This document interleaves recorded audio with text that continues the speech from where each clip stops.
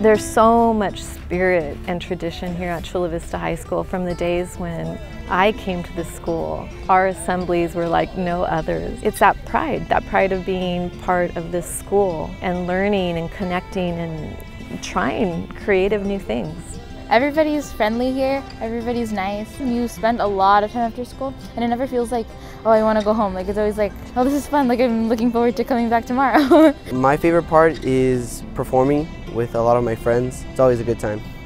My family plays a lot of instruments and so I thought it'd be really cool to uh, play guitar with my dad.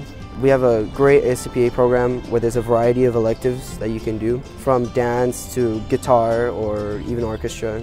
When I grow up, I can say I want to be a musician. I've been taking classes with Mr. Bruder since my seventh grade years and he really helped me develop as a better musician. This class is one of my favorites to come into the day. It's one of the classes where I know I can relax and just like smile and have fun with what I'm doing.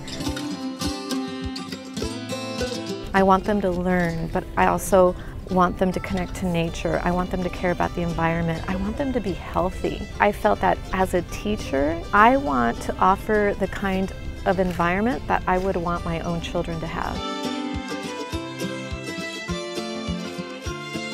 I came to the school because of this program and because I really wanted to be a part of this dance experience. I really love that dance challenges you, but it's also a way to express and it's also beautiful. So I feel physically, emotionally, mentally challenged every single day, and I love that. Education just doesn't come from school, it comes from your family. It's the way you are, the way you are with other human beings. It's important to take care of the environment for our future generations. I've always been interested in all of this. My grandma, she had a garden, so like I would always like play in her garden. It's important to come to school every day because there's so much opportunity and it's being handed to you. Why would you not take advantage of that? I really care about people and getting to know people and getting to know their past and helping them heal because we all come with baggage to some extent and I like being an ear to people that need to be heard. We need more compassion and kindness and understanding of people that are different than we are. And I think by having courses like this where students of all backgrounds interact together is incredibly valuable.